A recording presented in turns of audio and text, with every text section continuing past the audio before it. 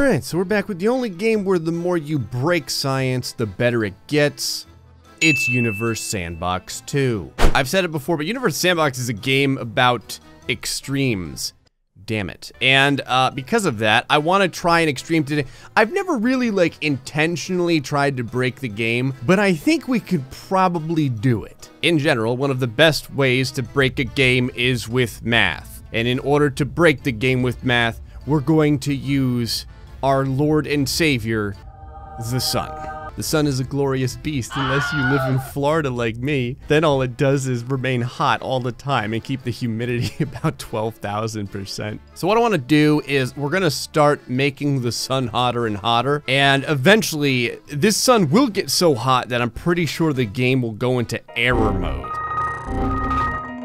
At that point, that's when stuff like weird stuff should start to happen like things that don't make scientific sense. I like it when things don't make scientific sense. At some point, I have to go back into my videos and try and estimate what the kill amount is in all of the universe sandboxes. So normally, what would happen is when you increase the temperature of the sun, it likes to increase the mass of the sun. But I don't want that to happen. So we gonna lock this bullshit and now we can increase the temperature of the sun at our leisure. Now, because I don't want the Earth to just immediately boil away, we're gonna do this in increments until we get into the realm where I really don't know what's to happen. I think this game has never crashed on me. I've never gotten it to crash somehow. So maybe that'll happen finally. Well, the first thing that happened was the sun turned into the color that I like more than the sun's regular color, which is blue. Because blue is freaking awesome. It also kind of looks like a glowing Earth. Right now, you'll notice that the Earth is still a nice, calm 15.5 degrees Celsius. That's just because we don't know that we're dead yet. I'm not a scientist, but I'm pretty sure that there's no way in hell that the Earth is going to survive the sun being almost twice as hot as it is normally. I can move time along and we can take a guesstimation,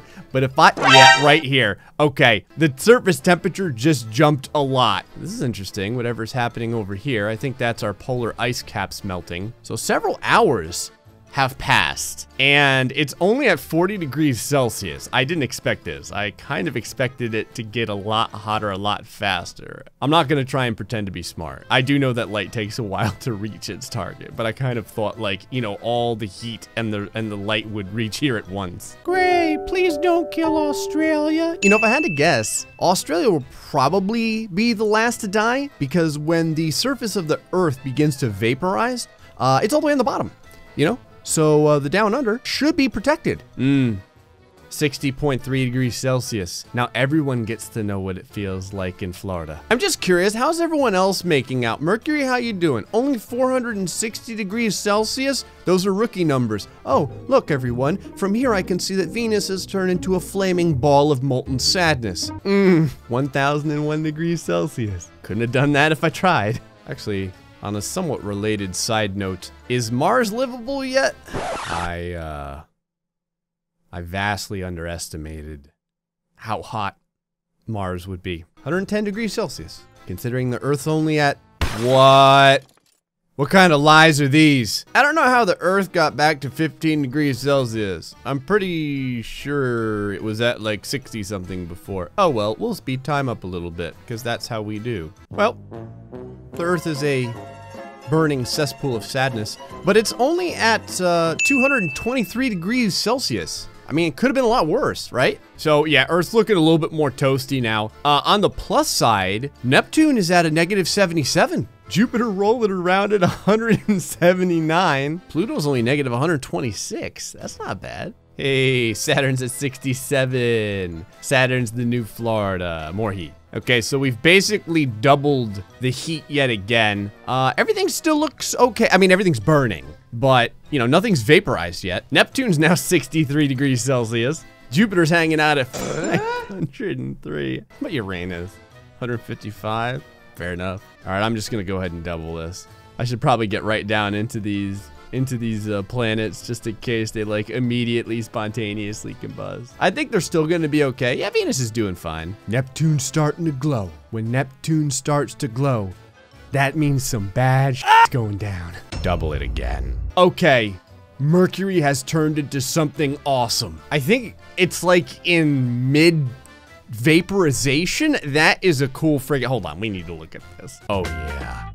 Oh, that's the stuff. You know the great thing about space is that you cannot know a damn thing about it and recognize that this is pretty sweet.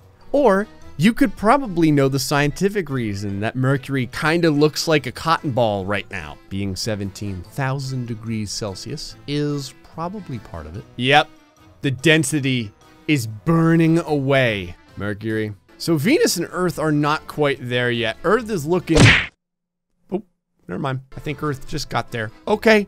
Earth immediately vaporized. That happened a lot faster than Mercury. How about you, Venus? You planning on like instantaneously disappearing on me? Still around? Okay. Now it's starting to have an epileptic seizure. Oddly, none of the density is going down yet. You like sweet rave parties? Venus likes sweet rave parties. I'm almost sure there's a rave called Venus, so this is very fitting. Oh, odd. It just stopped. It just stabilized. It stopped smoking. Why? You're supposed to burn into nothingness. What is going what is happening? It's still burning, but the burning is way over here. Oh, okay. Well, there's only one thing that we can do in this instance. Double the temperature. Oh, whoop. Hey, well. That was quick. Jupiter's still here. Double it again. Okay, Jupiter is starting to take some damage. Jupiter is is slowly broiling away. Jupiter kind of stabilized. The mass of Jupiter is going down real damn fast, though. It's like an exfoliant. Um, think about it like purging. We're purging Jupiter of all the impurities. It just so happens that all Jupiter is is impurities. So uh, it's getting the hell purged out of it. That's amazing. At the end of the at the end of the rave was an actual disco ball. I managed to pause it right on the weird vapor-like disco ball. Nice. That moment when Jupiter has a radius of 59 kilometers. There's still some planets left. So we're gonna go into the ridiculous realm and just pump this way the hell up. All right, I imagine Neptune will be, there we go. Everything's pretty much gone now. There's all these little fragments, and the fragments are still there. How hot does this have to get before even the fragments don't exist anymore? Or will the fragments always exist? And then in a second here, what I'm gonna do is I'm gonna take like the Earth and put it next to the sun but I'm gonna pump the temperature up so high that hopefully we go into the air realm. Can you reach the air realm? You can absolutely reach the realm. What the hell happened to the sun? The sun is gone. The sun got so, so hot that it disintegrated. Anytime you've got a bunch of debris, it's like cat litter all over the universe, just go ahead and get yourself the vacuum of space. Crap. That was not the vacuum of space. That was a galaxy. The vacuum of space a black hole. In fact, I can probably just take the mass and increase that for the black hole too. See, look at how quickly it works, like a Roomba. Mmm. That's what I like to see. Okay, here's the Earth. Here's the Sun. I put them close together because reasons. I slowed time way the hell down and now we're going to make sure that the sun has a level of heat that simply shouldn't be possible. Oh, oh shouldn't have done that. Yeah, let's go ahead and lock. Alrighty. Oh, what the hell? Okay, time is really slowed down, and the Earth is already starting to vaporize. What's the temperature? What is that? 13 million degrees Celsius? There we go. I'm just gonna keep clicking on this. I don't know really what it means or what it does, but I'm just gonna keep clicking just to see what happens. Finally did it. I crashed it. All right, we'll go, we'll go a little less than that. Okay, so there's the Earth immediately being vaporized. So let, what the hell? What just happened? Where'd my sun go? Uh, does the Earth still technically exist? It absolutely does. At like 200 million degrees Celsius. Maybe the Earth can come back from this, you know? Maybe everything's gonna be all right. Okay. The Earth is still there. It's, it's in a glow.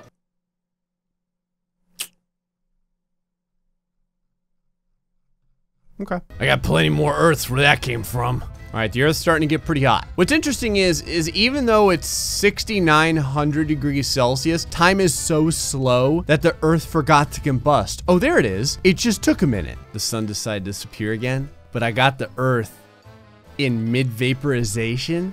That is freaking awesome. Oh, There's still something left of it. That's a lot of degrees Celsius. and the cloud of what is left of the Earth is pretty freaking cool. I'm telling you. Do you need to be educated to understand that this looks awesome? I'm living proof that you don't. You can throw on your most uh, chilled out trance dance music and just watch as the Earth continues to anally vomit what's left of its mass into space. You know, I never really caught the vaporization just like this, but it was pretty much perfect. Okay, we've been beating up the Earth. I'm gonna put a bunch of planets surrounding the sun and then make it super hot like that. Yep, all these, all of them. I'm gonna put Kepler in here too, because I like that planet. If you notice, a bunch of the dust from the previous Earth is still just lingering in space. It's like a warning to all the other planets to not be a part of any experiment Gray ever does. All right, let's rock and roll. Okay, there we go. Everything is starting to uh, discombobulate, as it often does. A little bit more right there. That's hot. Oh, yeah? Okay, let's keep moving. There. Okay, I can't even see anymore.